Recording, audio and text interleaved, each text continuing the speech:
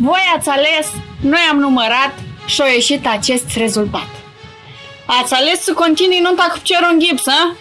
Ia să vedeți voi ce panoramă a ieșit. Cum e, Ancuță? Cum să simți fina mea? Din păcate nu se simți prea bine. Trebuie să mai stea ceva timp cu gipsul în picior. Păi în cazul ăsta, din păcate, nu avem cum să facem nunta, pentru că nu putem să cununăm o mireasă cu piciorul în gips. Nu?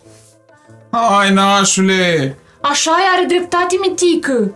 Eu zic să amânăm nunta până când își revine Maria cu piciorul. Nu, fă, lasă că știu eu pe cineva care se ocupă în totalitate de organizarea anunță. El vine, organizează nunta și Miri nu mai au nicio problemă. Se numește Event Planner. Dacă vreți, vă pun eu în legătură cu el, că mă cunosc bine. Ia auzi, nașule! Serios chiar știi tu pe cineva, fă? Ei, nu avem nevoie de așa ceva. Nașule, hai să discutăm alea între patru ochi. Ia stai, Corneli. Da, discuțiile astea importante nu trebuie să aibă loc între șase ochi, ci cu nu numai mitică.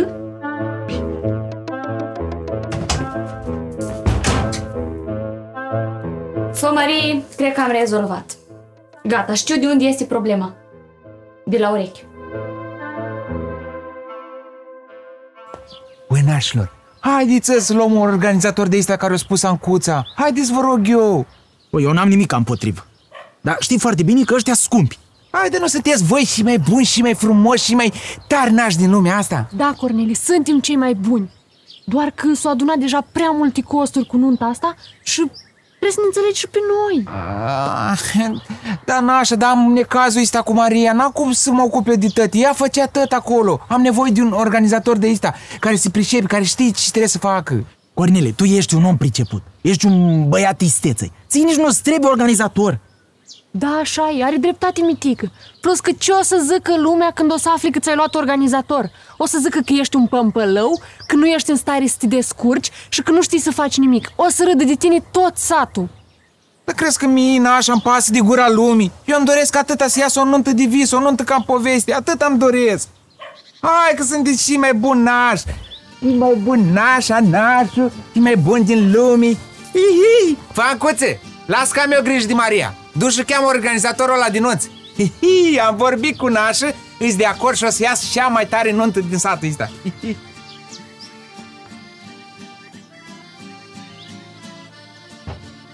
Alți bani, alte distracții cu organizatorul ăsta. N-avem ce face, fă, îi dăm înainte. Trebuia să fii și tu mai autoritar și să-i spui că nu o să plătim noi niciun organizator. Dar nu pot, Faurică, că e prietenul meu cel mai bun. Și vin în devenire. Ei, nu poți? Atunci o să te usturi la buzunar, o să vezi. Hai, lasă panorama și trecem că.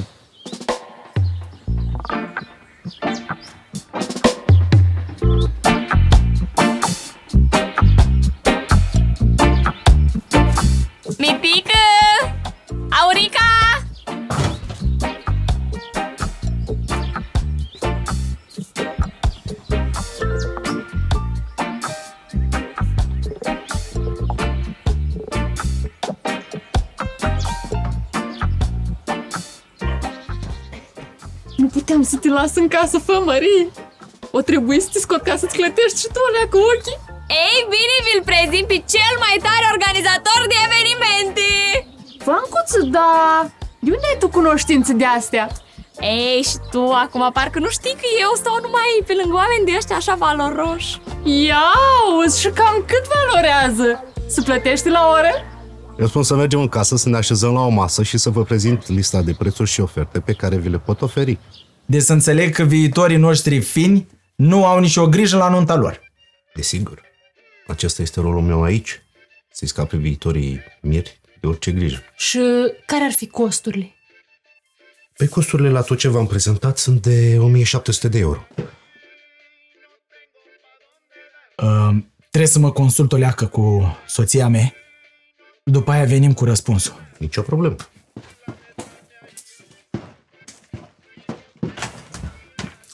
Ce căcat ne-am băgat, fă? 1700 de euro? Eu n-am avut în viața mea atâția bani în lei, apoi în euro. Ți-am zis că nu trebuia să ne băgăm noi în treaba asta. Da, fă, dar i-am promis lui Cornel. Bun, și ce facem? De unde scoatem noi atâția bani? Trebuie să punem la bătaie un plan. să facem în așa fel încât să nu-i dăm bani din locul ăsta. Ce zici, știi bagi? Dar normal, doar nu-i fi proaste să-i dau lui 1700 de euro, când nici măcar eu nu am.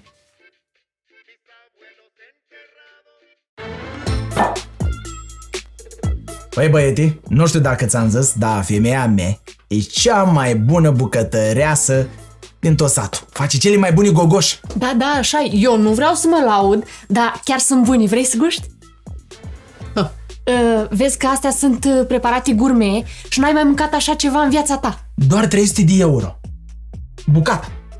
Da, pentru tine îți facem reducere. Da, da, eu îți dau gogoșli și tu mai scazi acolo de la costurile pentru nuntă. Ce zici? Sau chiar deloc. Din păcate, va trebui să vă refuz, pentru că eu duc un stil de viață sănătos și nu mănânc gogoși. Am ceva pentru tine. N-ai mai văzut în viața ta. Ăsta e din nerefuzat. Vin de calitate. Neam din neamul tău nu pus gura pe așa ceva. Așa e, asta e producții proprii. Să știți că nu are absolut nimic chimic în el. Și vinul ăsta peste ani și ani o să valoreze cât o comoară. Iar comoara asta poți tot dau ție. Dacă ne înțelegem acolo la costurile nunții, înțelegi ce zic? Din păcate, după cum v-am spus, duc un stil de viață sănătos și nu consum nici alcool. O nebunit asta cu stilul lui de viață sănătos. Am eu un plan.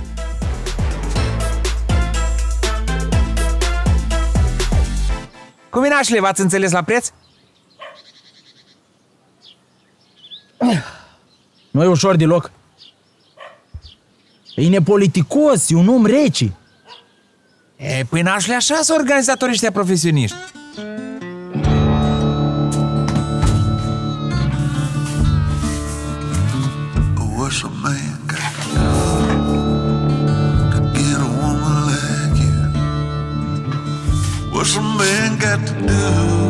Am nevoie de puțin organizare în viața mea. if I got to beg or if I have to plead or if I have to fight or if I have to bleed? Dar până la urmă, v-ați înțeles? Totul depinde de Aurica, e Cornel. Nu știu ce să zic, nașule, dar tare am impresia că o să rămâi fără femei. Nu mai râdi, Corneli. Că dacă eu rămân fără femei, tu rămâi fără nașă. E la asta nu m-am gândit, nașule. Păi și ce să facem atunci? Hai să-l batem. to get a woman like you.